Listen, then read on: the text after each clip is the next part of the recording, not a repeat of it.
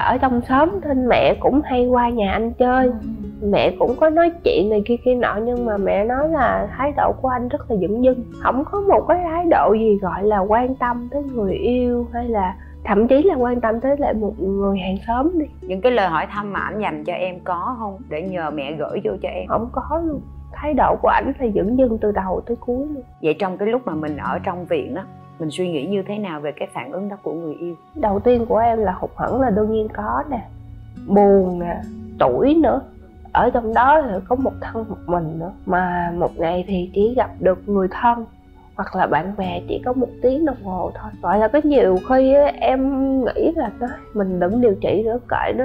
Vì sao em lại nghĩ về việc mình ngưng? Cái người mà mình cần quan tâm nhất cần gặp mặt nhất mà không gặp được không thiết để sống nữa vậy thì điều gì đã khiến cho em dừng cái suy nghĩ đó lại? Em mới nghĩ tới là nói ủa, tại sao là một người là từ lúc quen biết tới lúc mà xác định được mối quan hệ thì cũng đâu đó là khoảng tầm 15 năm thôi mà mà việc gì mình phải như vậy. Mà trong khi đó cha mẹ là cho mình hình hài. Thôi thì chuyện gì thì ờ, cũng phải khỏe mạnh đi rồi mình giải quyết tiếp. Cái điều quan trọng là mỗi ngày thì mẹ đều là cái người đi vô đi ra. Dạ. Mẹ cầu vọng cái việc là mình sinh tồn thì tại sao mình lại dừng lại? Thì đó cảnh mẹ già mà nuôi con trẻ bệnh ở trong bệnh viện nên em mới phải suy nghĩ lại rồi cũng đến ngày mình xuất viện. Thế thì sau khi em xuất viện thì cái lần đầu tiên mà em gặp lại ảnh á nó có diễn ra không? Vô tình thôi. Ở dưới quê em á có gửi lên cho nhà quả sầu riêng chín cây. Em mới đem qua em biếu. Thì lúc đó là gặp anh mới vừa đi làm về. Chứ các bạn cũng không chủ định gọi điện nhắn tin để chưa hẹn có nhau chủ định nữa. Tại vì lúc đó là kiểu như là cái hình dạng của mình cũng còn xấu xí á. Ừ. cho nên là em cũng chưa có ý định để gặp anh. Và cái sự tình cờ đó mới gọi là đi đến hồi kết cái mối quan hệ của tụi em. Cái tâm ý của anh á thì em cũng có thể đoán ra được. Cái thứ nhất là anh sợ là tự nhiên chưa gì hết mà thấy nó bị bệnh hoạn như thế này. Rồi không biết sau này cưới về nó có tròn trách nhiệm làm vợ làm mẹ hay không cái thứ hai nữa là mình bị bệnh về tử cung. Khi mà em vô hóa trị thì em đã cắt bỏ một phần ba tử cung và một bên buồng trứng thì sau khi mà điều trị xong, bác sĩ cũng nói luôn, cái khả năng làm mẹ của em rất thấp. Giả sử như có phép màu mà cho em có cơ hội làm mẹ thì ờ, phải nâng như trứng hướng như hướng hoa từ khi mà nó mới hình thành tại giọt máu và khi mà đứa bé nó được sinh ra đời á, nó cũng không có được khỏe mạnh như những đứa trẻ trong trẻ nuôi lúc đó anh chưa biết đâu, nhưng mà kiểu như là em muốn vạch trần rõ ra hết để coi thử cái tâm ý lại cái cảm nhận của anh như thế nào. Thì em mới chia sẻ ra hết. Anh lặng người. Anh suy nghĩ, rồi xong anh mới đưa ra một kết luận. Em nói đúng rồi đó. Cái cảm nhận của anh là như thế cho nên anh mới không dám đối mặt. Dạ anh biết là mẹ đi qua là mẹ cố ý để cho anh biết tình hình của em Nhưng mà anh không dám đối mặt. Cho nên anh mới không vào thăm em. Phản ứng của em với cái lời khẳng định đó của ảnh là như thế nào? Hụt hẫng thì cũng có rồi Cũng qua rồi. Thì giờ gọi là mình có suy nghĩ là chắc tương lai thì mình với anh cũng không có đi xa được Nên mình cũng chuẩn bị tâm lý trước. Buồn đương nhiên nó sẽ rất nhiều cũng khó để đo đến một cái nỗi buồn theo cái kiểu này. Dạ. Nhưng mà nó có cái chút nào của cái tâm ý này nó len lỏi ở trong suy nghĩ của em lúc đó không? Đó là thôi cũng may mà anh lạnh nhạt để chuyện này nó được kết thúc. Hình như là cũng đâu đó cũng có thoáng qua nhưng mà kiểu như em không có để tâm hầu như cảm xúc dồn nén để mình cứ nói ra hết tới đâu thì tới vậy đó. Mà thực ra mình vẫn chờ đợi cho việc anh Dạ. đồng hành với mình đúng không? Dạ từ nhỏ tới lớn như là một người thân người anh trai rồi bây giờ là một người bạn trai ai cũng sẽ có cái cảm giác là muốn cái người thân thiết nhất đồng hành tiếp. Chỉ có một cái thắc mắc không biết là em có ghi nhận cái thông tin này hay không. Cái việc mà em với ảnh lớn lên cùng với nhau rồi xác định quan hệ yêu đương nhau chắc chắn là gia đình ảnh biết. Dạ đúng. Phản ứng của gia đình ảnh về bệnh tình của em thế nào? Mẹ ảnh thì cảm thông chia sẻ. Mẹ ảnh là từ nhỏ tới lớn là xem em giống như là một người con gái ở trong nhà luôn vậy đó. Chuyện con cái hay gì thì bác không quan trọng. Dù ảnh là con trai vẫn quan trọng về cái duy trì hương quả nhưng mà mẹ anh tân tiến mẹ anh nói là bác không có quan trọng là anh phải có con trai để nói giỏi hoặc là có con có con hay không là do trời cho. Bác chỉ quan trọng là hai đứa hạnh phúc và đồng hành nắm tay nhau tới hết đời. Em ở trong viện mấy tháng như vậy ảnh không đến thì sau đó ảnh có nói lý do rồi đó nhưng gia đình của ảnh. Mẹ cũng có vào mẹ nói là hai bác ở bên nhà cũng muốn vào thăm. Em nói mẹ là mẹ nói thôi hai bác cũng lớn tuổi đi ra đi vào bệnh viện cũng khó khăn phức tạp. Mà ở cái khu này á, là một mình mẹ vô là con đã cũng đã thấy có lỗi rồi chứ đừng nói tới là hai bác ở bên nhà. Có nhiều hôm mẹ em đem đồ ăn vào cho em á thì cũng là đồ ăn của bác ở bên nhà đưa vào vậy thì có khi nào em có một cái sự hờn trách và oán giận ở trong lòng rằng là cái trách nhiệm về cái việc duy trì hương quả nó đã được mẹ của anh cởi trói cho anh rồi có nghĩa là nếu như gọi đó là vấn đề để anh phải uh, báo đáp cho gia đình thì nó không phải nữa rồi bởi vì mẹ anh đâu có dạ. ghét buồn mẹ đó. anh không có nặng về vấn đề đó vậy thì có nghĩa là cái tình cảm mà anh dành cho mình nó có vấn đề có khi nào em tuổi thân cực độ vì cái suy nghĩ là vốn anh không có thương mình chứ không phải là vì cái việc khó có con. Có nhiều khi em cũng có suy nghĩ là thân thuộc quá cái hóa nhàm chán. Là em cũng muốn hỏi anh nhưng mà em không có dám mở lời. Sợ là mình bị đau thêm một lần. Cho nên là em cũng bỏ ngỏ luôn. Đến bây giờ có câu trả lời chưa? Hiện tại bây giờ thì anh ấm em rồi chị. Thì đương nhiên rồi bây giờ thì anh phải ấm em rồi. Nhưng ý chị hỏi là có đến bây giờ thì em đã có câu trả lời về cái việc đó là vốn việc mình phát hiện bệnh tình của mình nó chỉ là một cái sự kiện đủ lớn để cái điều đó nó xảy ra ồ ạt thôi. Chứ dấu hiệu của một cái mối quan hệ lợt lạc nó bắt đầu héo úa nó đã là câu chuyện tự thân nó diễn biến rồi. Thì cũng có thể là em đã nhận ra rồi nhưng mà do kiểu như là mình tự dối lừa mình mình không có muốn chấp nhận cái điều đó. Chị sẽ rất đồng cảm với việc là người ta đứng trước một cái quyết định từ bỏ. Người ta không biết phải đối diện với đối phương như thế nào đó là những cái điều còn lại rất là tốt đẹp về mặt nhân tính. Tôi cũng phải biết áy náy chứ. Yeah. Dạ. tôi cũng phải biết cảm thấy dây dứt. Nhưng mà nếu như nói rằng là vì cái điều đấy vì một cái căn bệnh mà tình yêu nó lợt lạc thì thật ra không phải đâu. Thì em nghĩ là chắc là trước đó là cũng có dấu hiệu rồi nó đã lợt mà... lạc trước rồi. Căn bệnh lúc này nó được coi là một cái cớ quá tuyệt vời. Yeah, dạ, kiểu như là cái nồi chăm nổ vậy đó. Em đã vượt qua mọi thứ như thế nào vượt qua một cái uh, giai đoạn sau điều trị vượt qua một cái lời đề nghị chính thức là thôi dừng lại. Em cũng nói với anh là anh đã quyết định như thế thì em tôn trọng quyết định của anh. Không thành nghĩa vợ chồng thì mình tiếp tục làm anh em làm bạn bè. Cái mối quan hệ từ nhỏ của bọn em là bạn bè và anh em. Cho nên là thôi thì mình coi như là duyên mình tới đó thôi. Mặc dù là mình nói hồi đó mình cứng rắn lắm nhưng mà mình về nhà mình vẫn buồn, vẫn nói là thân thuộc quá, thân thiết quá, mất giữa chừng vậy. Giống như là mình bị thiếu khuyết cái gì đó, thân thương yêu mến. Nhưng mà cái nỗi buồn đó cũng không có được lâu, còn cha mẹ già. Nếu mà mình buồn, mẹ mình cũng sẽ buồn theo, mặc dù là mẹ không nói ra tại vì mẹ đã quá buồn, quá mệt mỏi vì căn bệnh của mình. Có một khoảng thời gian em nói thêm đó là cái thời gian điều trị, nhưng mà em mặc dù là em đi điều trị ở trong bệnh viện, nhưng mà em vẫn được ăn lương là tại vì sếp của em là một người phụ nữ, nên là chị đồng cảm. Khi mà chị nghe em có cái thời gian chính xác cụ thể đi điều trị thì chị đã ký cho em cái giấy gọi là nghỉ bệnh, ăn 50% lương trong quá trình điều trị bệnh suốt 6 tháng đó em vẫn cứ ăn 50% lương và khi mà em điều trị xong rồi chị sếp chị cũng hỏi thăm thì em nói là hiện tại bây giờ thì sức khỏe em cũng chưa cho phép để em vào công ty em làm lại. Thì nếu mà em vẫn chưa có đủ sức khỏe thì chị vẫn sẽ ký phép tiếp cho em nghỉ vẫn ăn 50% lương. Thì cái khoảng thời gian mà gọi là tịnh dưỡng sau khi điều trị á, thì em có tìm đến gọi là Phật pháp để cho mình à, thanh tịnh, tâm tính mình lại để cho mình đừng có buồn nữa. Chị, rồi em nghe thuyết pháp nói là mọi sự đều là do duyên, do số. Cho nên đó là khi mà hết duyên thì cứ để cho nó trôi đi, chứ đừng có níu kéo làm gì.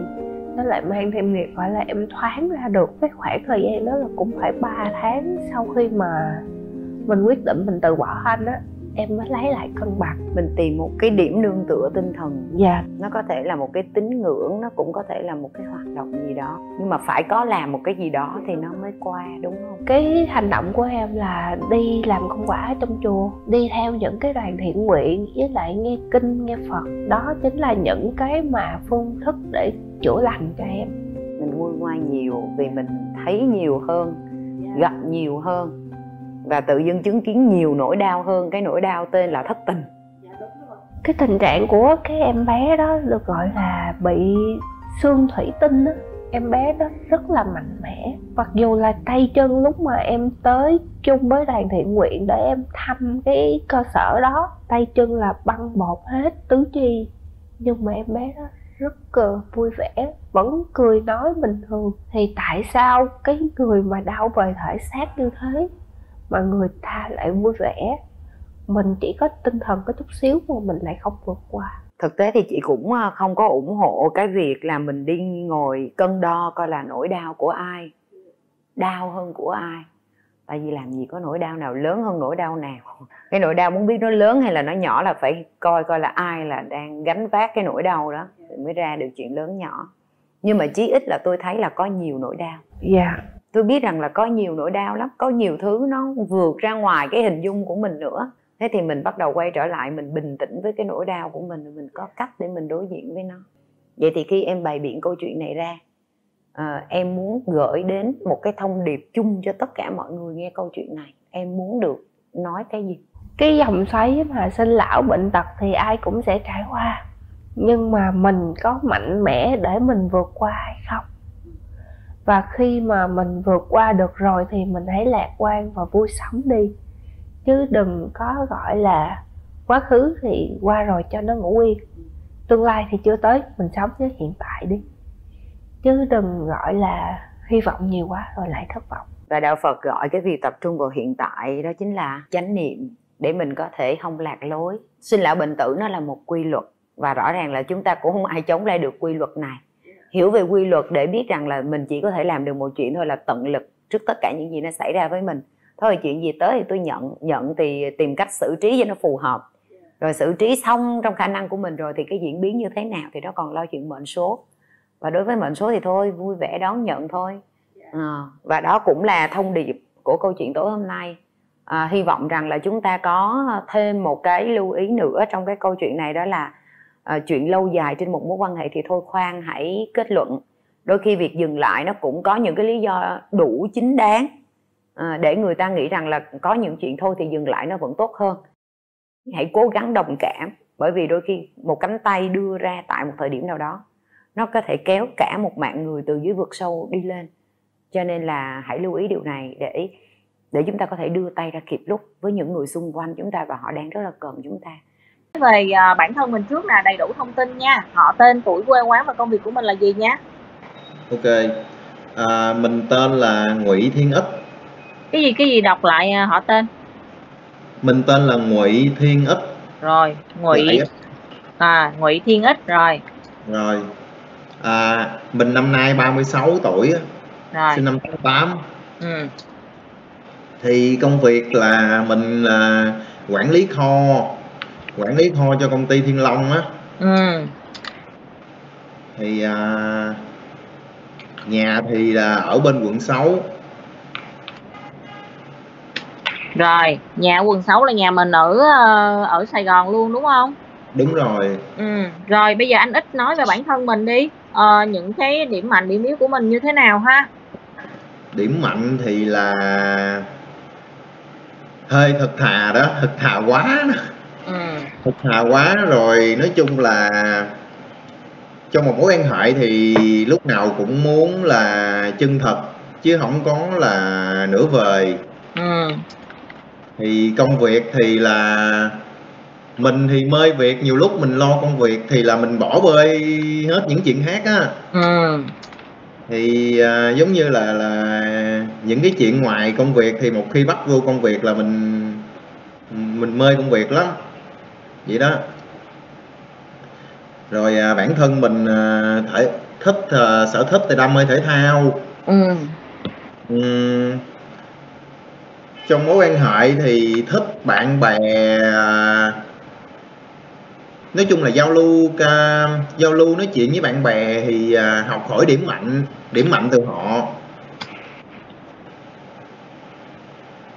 Thì, rồi trước à, giờ trước giờ anh ít uh, trải qua mấy mối tình rồi ít ít trải qua tính ra là ba mối tình. Ừ.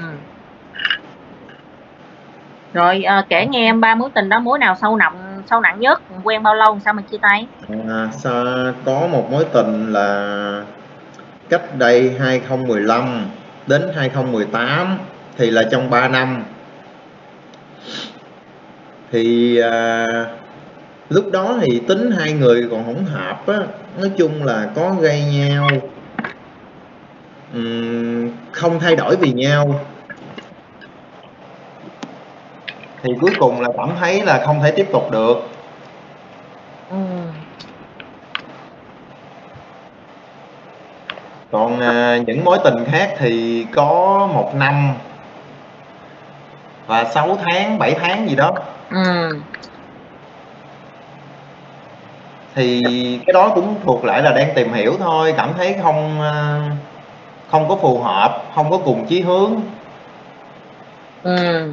thì không thể tiếp tục được. Rồi vậy thì sau ba mối tình đó thì mình rút ra được kinh nghiệm gì không? Và bây giờ mình mong muốn như thế nào để uh, gọi là chọn trong cái người mà né né bớt ừ, giống những cái mối tình trước mà mình đã chia tay á?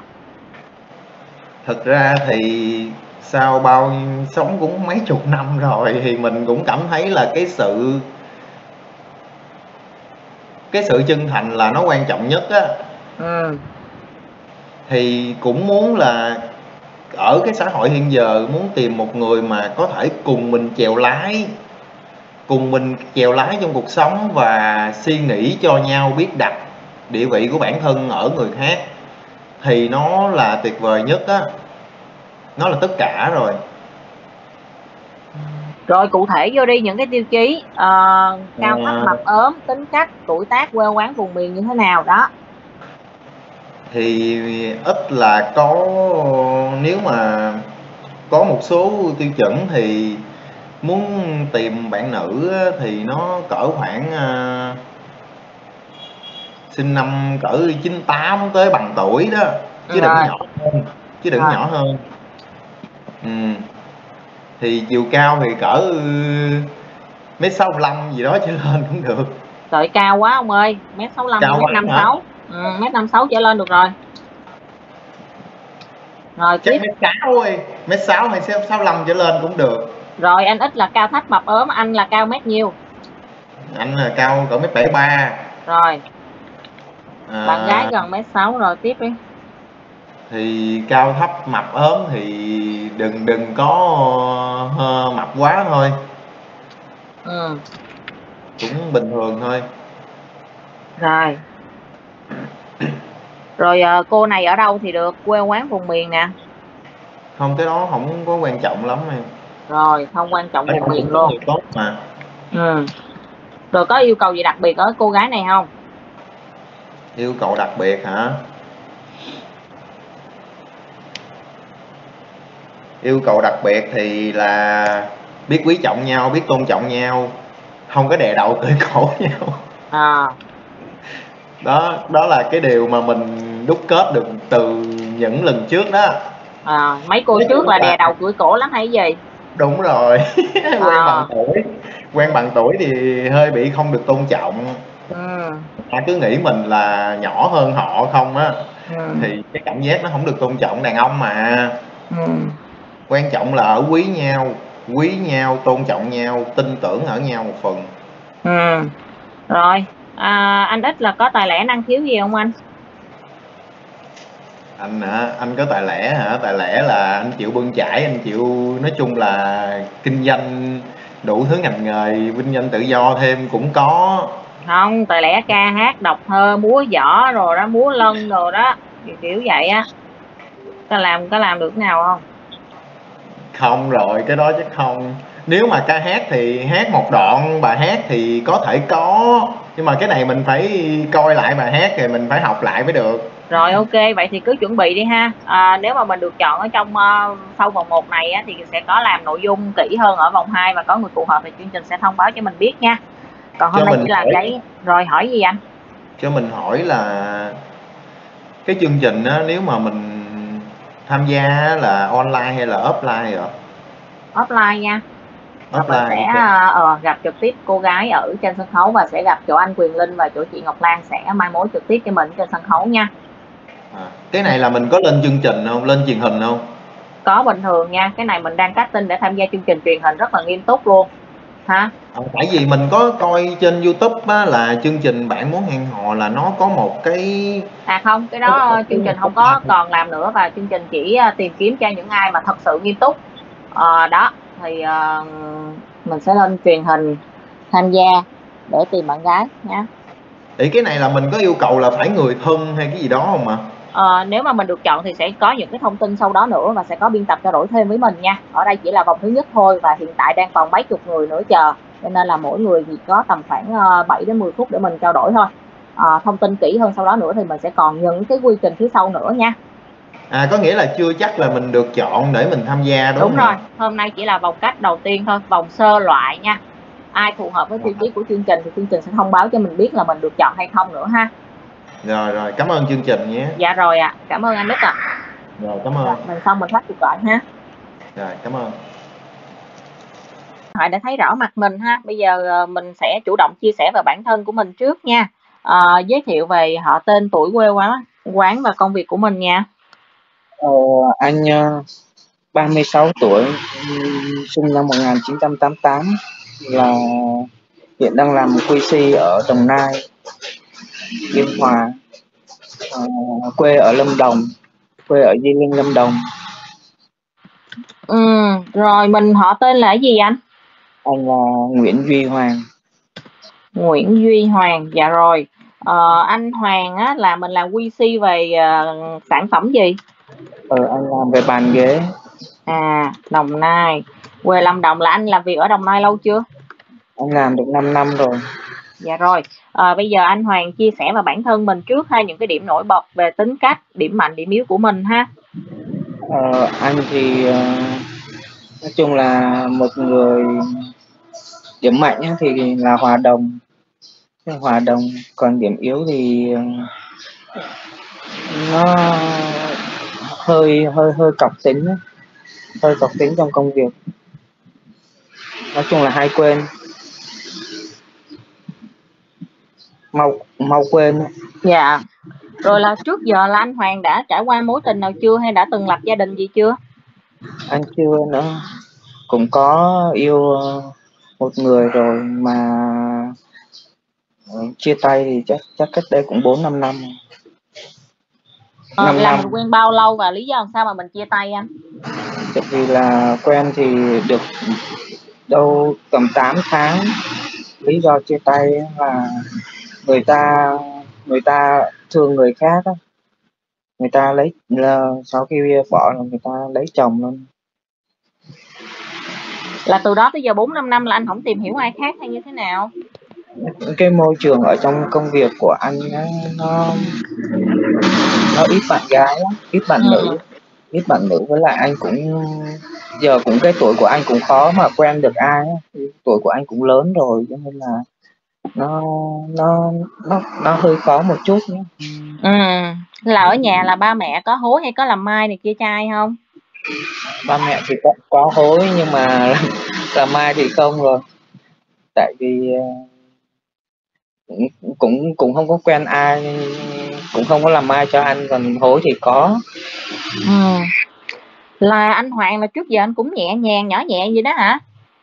Ờ anh thì nhỏ nhẹ vậy. Ừ. là mình là thích và thích gái đúng không? Ừ anh thích con gái mà. Rồi rồi có thích con trai không? Ừ, không thích gái thôi. Ừ, thích bạn, gái thôi. con trai thì là bạn bạn bè thôi. Ừ. rồi vậy thì là ba anh Hoàng có những cái uh, tiêu chí yêu cầu về mẫu bạn gái mình mong muốn không?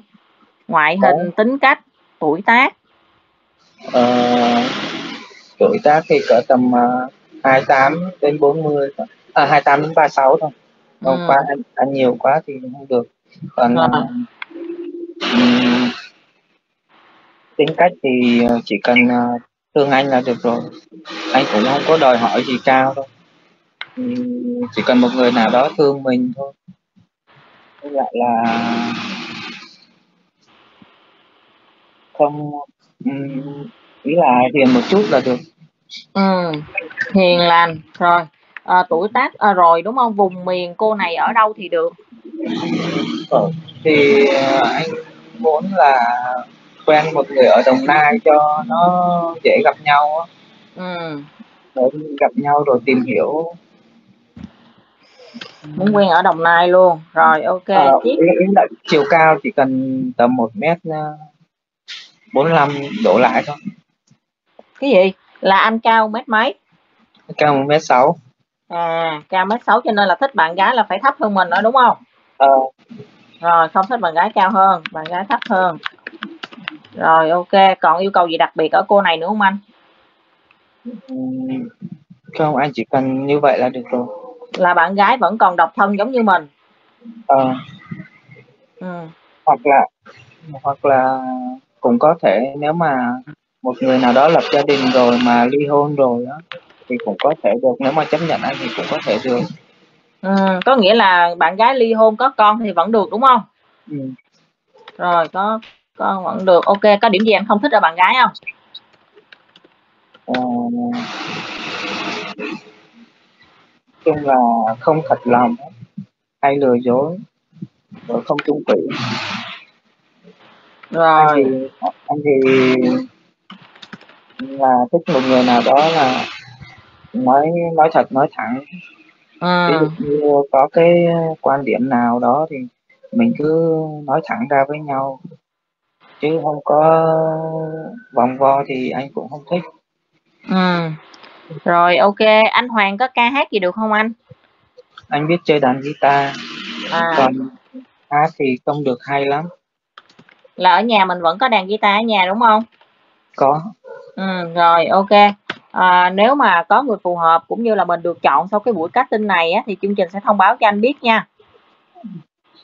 Ờ, là nếu mà có người hợp với mình thì mình là sẽ gặp nhau ở đâu vậy Ờ, có nghĩa là sau cái buổi cast này cái này là chỉ là vòng 1 thôi. Nếu mà anh được chọn ở vòng 1 này thì anh sẽ bước vào vòng 2 vòng 2 ở đây là sẽ có biên tập riêng trao đổi nội dung kỹ hơn với anh. Và khi mà có người phù hợp thì mình sẽ đến cái phần gọi là ghi hình trực tiếp gặp trực tiếp luôn nha. Ờ, nhưng mà anh không muốn ví dụ anh không muốn lên trên trường truyền hình nhé. Anh anh không muốn muốn lên truyền hình thì anh sẽ không có bạn gái đâu. gặp offline thôi không được anh cái này là mình đã mong muốn là có bạn gái rồi thì mình phải cố gắng tham gia để mà gặp gỡ bạn gái ha. Và là ở đây sẽ, là sẽ là chỗ anh Quyền Linh và Ngọc Lan sẽ là mai mối cho mình nha. Sẽ là Ừ. lên trực, trực tiếp lên truyền hình luôn hả em? Thì mình cứ sẽ đúng rồi mình sẽ đến ngày ghi hình để mà lên ghi hình chứ anh. À, ừ. thì nói chung là chương trình sẽ tìm cho anh một cái cô phù hợp nhất và mình sẽ tham gia chương trình bạn muốn hẹn hò ở trên sân khấu nha ừ. rồi rồi ờ, mà quan trọng là phải có cái cô gái phù hợp đã chứ không phải là là là có người liền đâu. Nói chung là đã gặp nhau ở trong chương trình là cực kỳ có duyên luôn á. Nha thì mình ờ, mới mới gặp được cái cô gái ở trong chương trình nữa. Nó rất là nhiều bước nữa thì mới tiến tới được cái phần cuối cùng để gặp cái cô ờ, mà mình mong muốn nha. Ừ. anh cảm ơn chương trình. Cảm ơn em nha. Dạ rồi em cảm ơn anh